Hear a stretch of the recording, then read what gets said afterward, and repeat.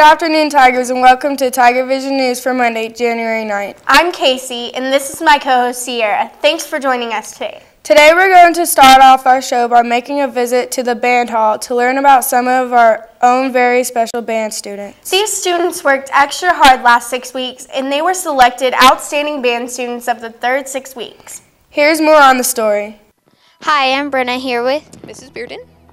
How do students earn the honor of being chosen outstanding band students?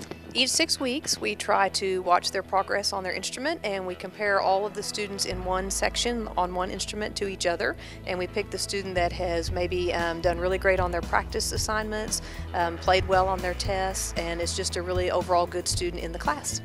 Okay, and how many students are chosen each six weeks? We have 11 or 12 different instruments in the band, and so we try to feature one person on each instrument section. Um, we have flute, clarinet, saxophone, our double reed and low reed section, French horns, trumpets, trombones, baritones, tubas, and percussion. Okay, thank you. I'm here with TK.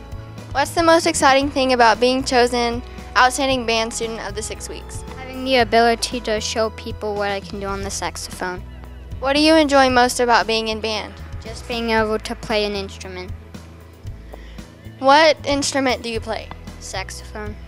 Thank you. Hi, I'm Kara here with Ethan. What's the most exciting thing about being chosen outstanding band member of the six weeks?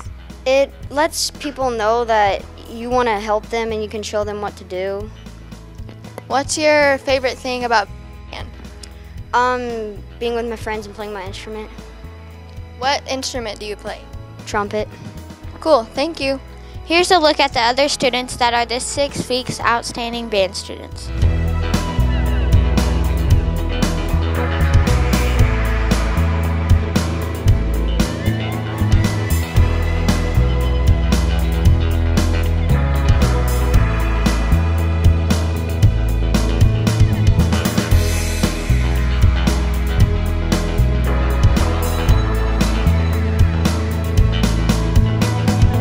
Congratulations, students. Here's a look at a few events this week that you will want to make note of. FCA will have its first meeting of the semester tomorrow morning. The meeting will take place at 7 a.m. in our library. FCA is a great place for everyone to talk about life and what's going on in it. Be sure and be there, and remember to bring a friend.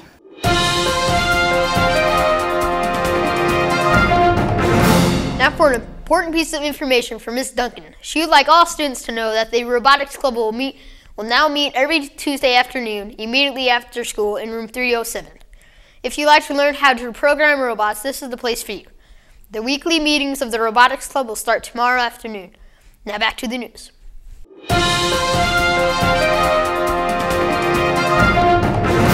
Popcorn Wednesday will be during Tiger Time on Wednesday.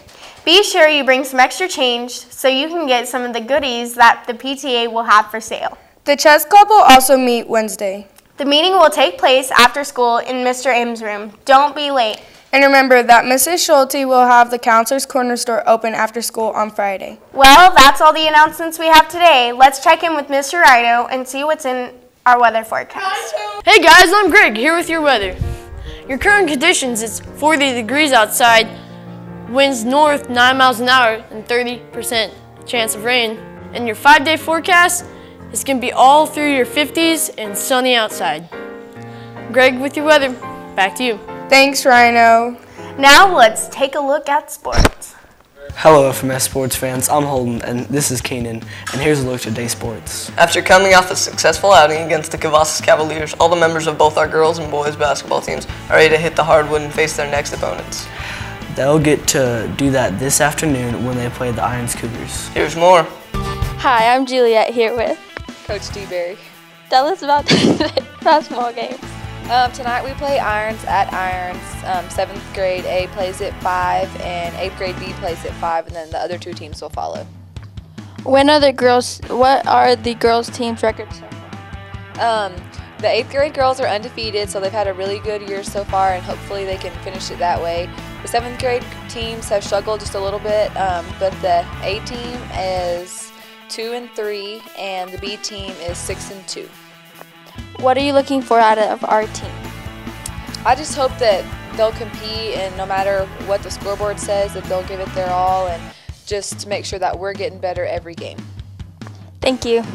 Hi, I'm Juliet here with Hannah, Sydney, What are you looking forward to most about today's games? winning, beating irons, What'd you do to prepare for the game? run and practice a lot, run a lot. What are your favorite thing about the season so far?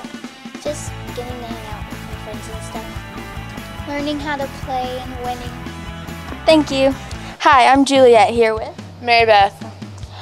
What are you looking forward to most about today's games? Um, working really hard because this is going to be a hard game. What do you do to prepare for your games? Um, when we're practicing, we shoot a lot and we condition a lot so we can be the best that we can be. What's your favorite thing about the season so far? Um, I really like just all the games, hanging out with the girls, but mainly playing with them. Thank you. Good luck, girls. The guys will also play the Cougars this evening.